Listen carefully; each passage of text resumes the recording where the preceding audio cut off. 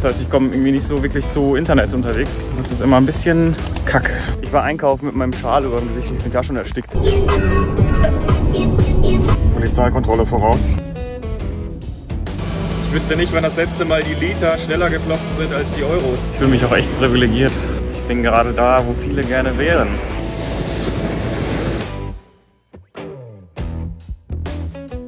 Hi, ich bin Pete und ich lebe, arbeite und reise in meinem Van, der Fat Lady. Ich erkunde die Welt und verschiedene Lebensweisen auf meinem Weg. Gemeinsam lassen wir dabei kein Abenteuer aus. Komm mit und sei dabei. Es ist Ende Mai und ich verlasse die Eco Farm nach über sieben Wochen und mache mich auf den Weg an die spanische Nordküste zum Surfen und gleichzeitig auch ein Stück Richtung Heimat. Aber keine Angst, meine Reise ist noch lange nicht vorbei.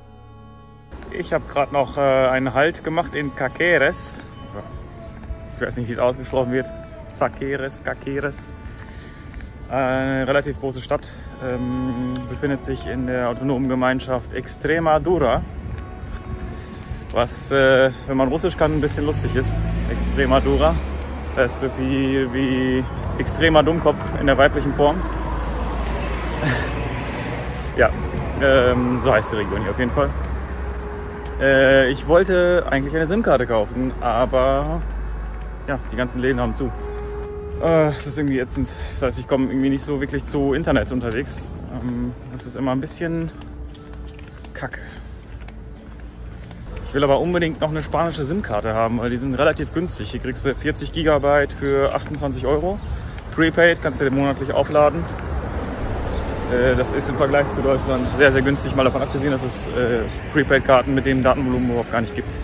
Und da ich demnächst auch noch in die Nordics reisen will, also Schweden, Norwegen, Finnland und so weiter, äh, wäre so eine SIM-Karte ganz nützlich, weil da ist es nochmal doppelt so teuer wie in Deutschland, also wahrscheinlich dreimal so teuer wie hier.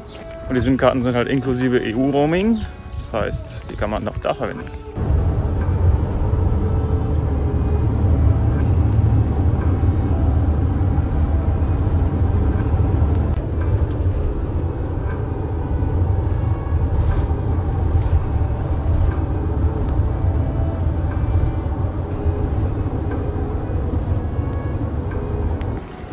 Yay, gute Nachrichten. Ich habe eine SIM-Karte. 28 GB, 40 Euro. 30 Euro. Stimmt, 30 Euro. Ich habe nur 30 Euro bezahlt. Achso, wegen 10 Euro Gutschein. Okay. So. Aber normalerweise 28 GB, 40 Euro. Ja, das ist die gute Nachricht. Die das nicht so gute Nachricht ist, dass ich äh, von zwei Ordnungshütern oder Polizisten, ich weiß nicht genau, was es ist, äh, angesprochen wurde, wo denn meine Maske sei. Ähm, ja. Ähm, auf jeden Fall, ich bin hier der Einzige, der ohne Maske rumrennt. Das bedeutet, dass es anscheinend hier Pflicht ist, immer zu jeder Zeit eine Maske zu tragen. So sieht es auch aus. Alle in den Autos haben eine Maske. Äh, ich finde das ganz schön anstrengend. Äh, vor allem bei 35 Grad. Und die Sinnhaftigkeit sei mal auch dahingestellt. Also, wenn ich hier alleine durch die Stadt laufe und hier keinen anhuste und keinen anfasse, warum soll ich dann eine Maske tragen? Das ist irgendwie so ach, weiß ich nicht. Und dann war ich in einem Sim-Shop. Ja, da ist alles abgeklebt und so eine Trennwand und ein Riesenaufwand und Maske und alles. Äh, aber dann wird halt ganz normal interagiert. Er fasst mein Geld an, er fasst mein Handy an. Äh, ja, weiß ich nicht. Irgendwie finde ich das alles komisch. Ein Haufen, Haufen Aufwand. Und der Nutzen ist fraglich.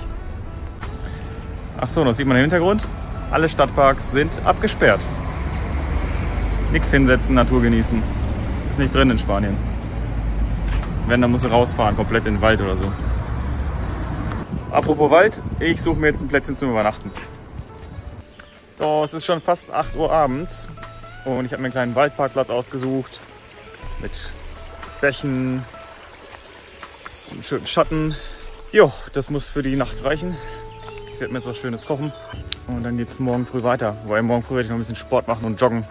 Mal hier ein bisschen rumlaufen, das sieht eigentlich ganz schön aus.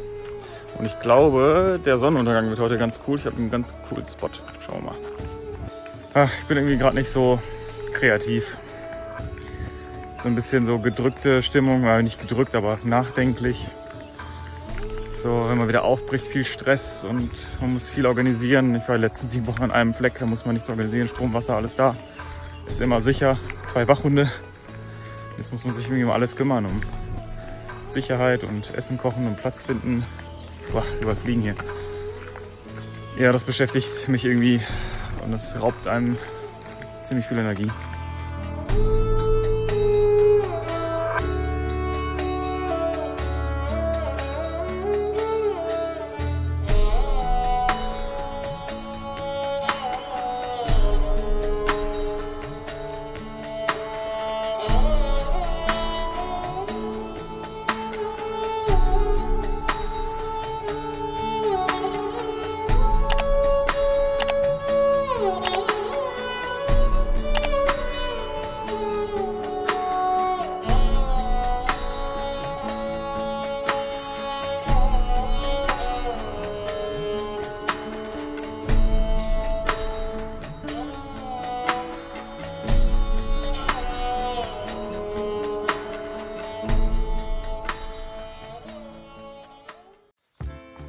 Ja, ich war gerade eine Runde joggen.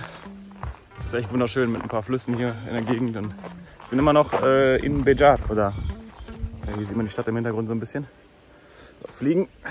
Beim Joggen habe ich festgestellt, mal wieder, mir kommen halt ganz viele Leute entgegen zum Spazieren, Wandern und auch Joggen. Die haben eine Maske auf, auch wenn sie alleine joggen. Also wirklich so, so auf. Ähm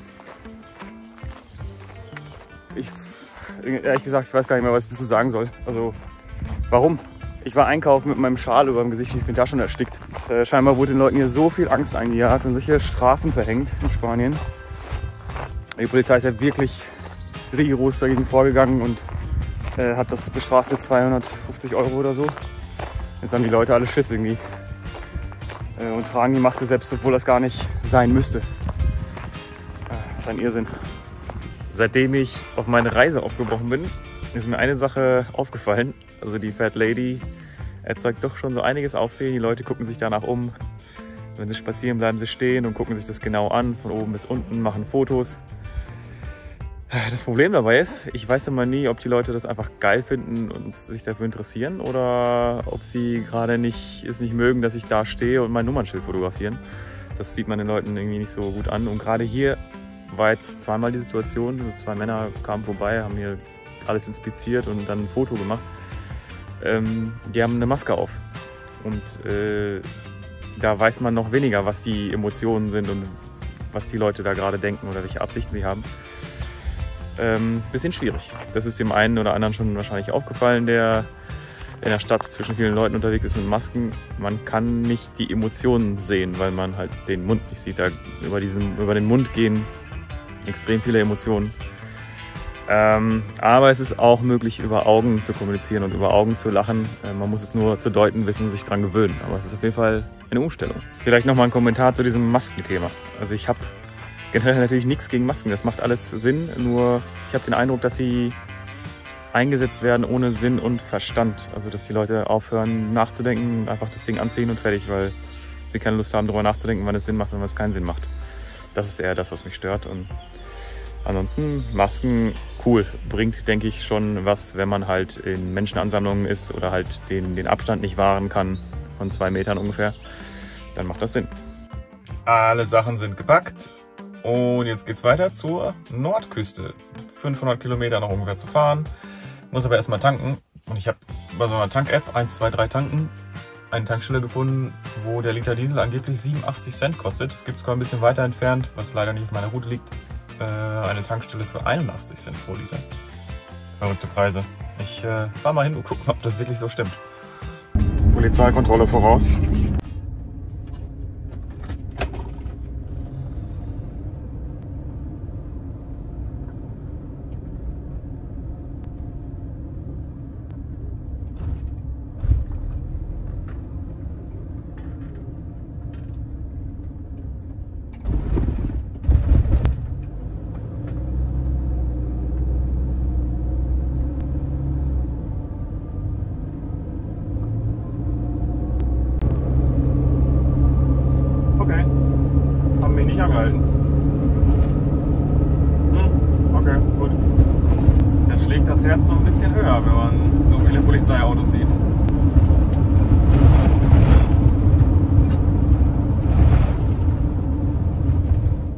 bin an der Tankstelle und man glaubt es nicht, 87 Cent für Diesel, 95 Cent für Benzin. Scheiße, ist das billig. Ich wüsste nicht, wann das letzte Mal die Liter schneller geflossen sind als die Euros. Das ist lange, lange her. Ja, ich weiß, meine Frisur sieht aus wie ein verrückter Professor, aber... Yo, yo, yo, ich hab's fast geschafft. 140 Kilometer da. Ich fahre im Schnitt 90 km/h, so wie immer. Und äh, ja, Durchschnittsgeschwindigkeit 79 km/h auf die ganze Strecke. Das ist normal, das ist eigentlich immer so 80 km/h im Durchschnitt. Ja, zieht sich ein bisschen, aber ich höre Hörbücher und Musik und schreibe ein paar Dinge auf, die mir so durch den Kopf gehen. Insofern wird die Zeit sinnvoll genutzt.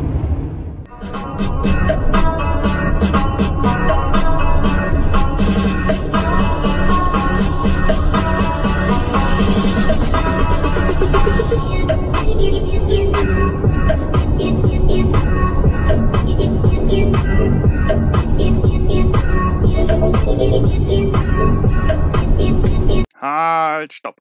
Also bevor jetzt einer klug scheißen will, ich habe die Spiegel jederzeit im Blick und weiß genau, was auf der Straße passiert.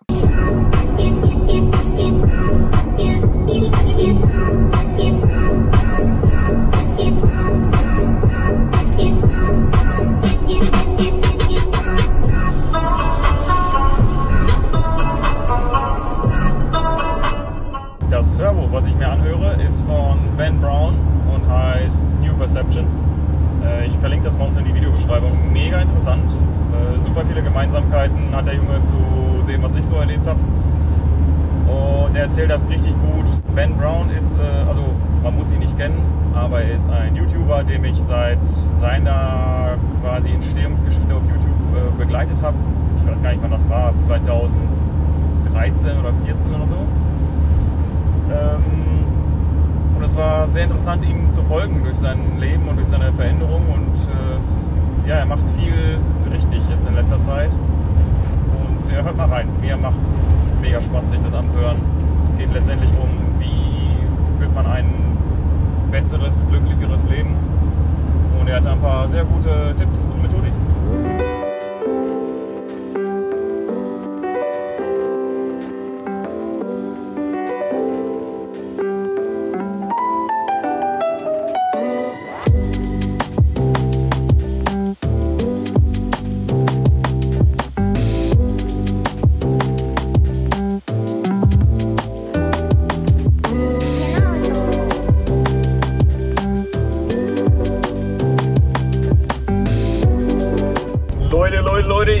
Das Meer.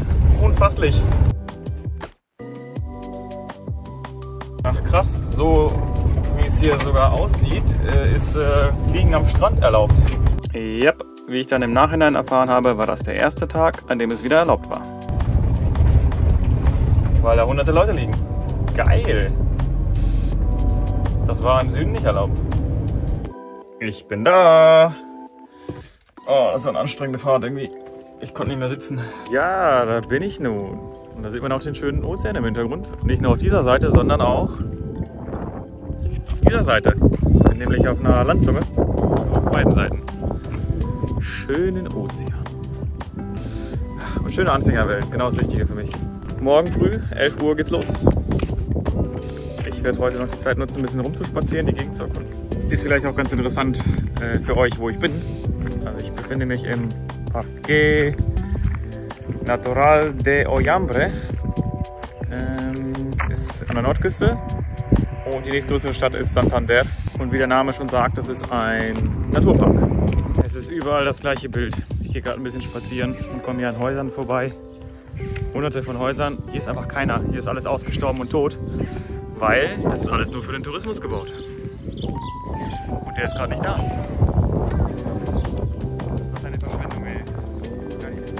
Häuser auf der Welt leer stehen. Deswegen. Ja, und Millionen von Menschen haben kein Zuhause. Aber die Häuser stehen leer. Super. Ich mache mal einen kleinen Ausflug zum Strand. Es ist schon relativ spät, es ist 19 Uhr. Aber ich versuch's mal.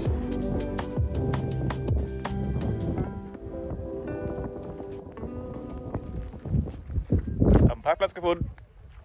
Und jetzt ab zum Meer und schön rein. Und ich sehe Surfer. Geilo. Ab morgen gehöre ich da auch zu. Und ich hoffe, dass ich in dieser einen Woche, oder eigentlich sind es nur vier Tage, jeweils zweieinhalb Stunden Unterricht, äh, dass ich da es hinkriege, selbstständig das Meer zu lesen und die Regeln zu können und dann alleine gehen, surfen gehen zu können. Das wäre so der Traum. Mal gucken, ob das klappt. Normalerweise sagt man so nach 10 Stunden reicht das noch nicht, man müsste so 20 nehmen oder so. Wir kommen der ganzen Sache näher.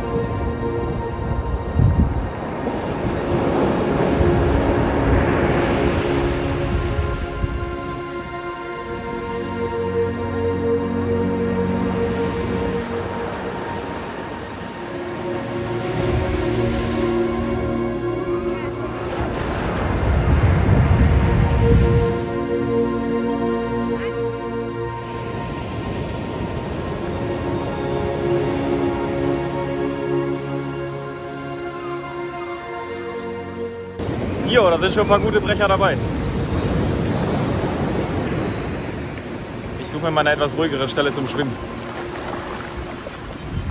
Ja, ich fühle mich selten so wohl äh, wie irgendwo am Meer, beziehungsweise sogar am Ozean noch besser. Äh, irgendwie gibt mir das extrem viel Energie und Kraft. Ähm, ja, schwer zu beschreiben. Aber da fühle ich mich lebendig, wenn ich da erstmal im Wasser bin und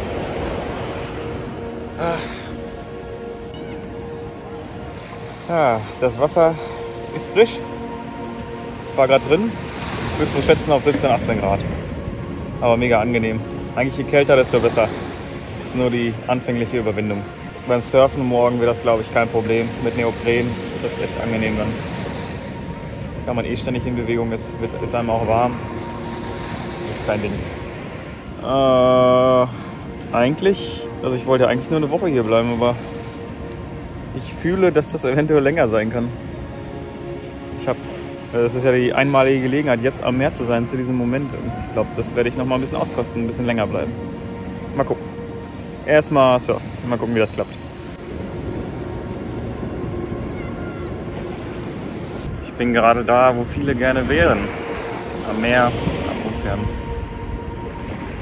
Und ich fühle mich auch echt privilegiert, können gerade nicht viele oder nicht alle Menschen machen, wegen Corona. Äh, aber irgendwie fehlt mir was, nämlich irgendwie ein Anlaufpunkt, äh, Menschen, mit denen man irgendwie abhängen kann. Ja, ich werde mal versuchen, ob ich irgendwie Kontakt aufnehmen kann mit ein paar Leuten die nächsten Tage. Aber es ist natürlich durch Corona irgendwie extra schwer, ne? weil alle irgendwie auf Abstand gehen und und und. Viele Bars und Restaurants haben gar nicht auf. Vielleicht hilft mir das Internet ja irgendwie, irgendwen hier kennenzulernen, der mich hier ein bisschen irgendwie in der Gegend rum zeigen kann. Bis dahin genieße ich das Meer und das Wetter. Es ist auch nicht mehr so heiß wie im Süden. Im Süden waren es schon bis zu 35 Grad und hier sind es so 21, 22. Das ist echt angenehm. Das ist eigentlich perfekt. Perfekter geht's gar nicht. Jo, ich bin gerade echt happy, glücklich und zufrieden. Ein bisschen mehr, ein bisschen Sonne, was will man mehr? Ein geiler Stellplatz. Ich werde jetzt ein bisschen Videos bearbeiten und den Sonnenuntergang genießen.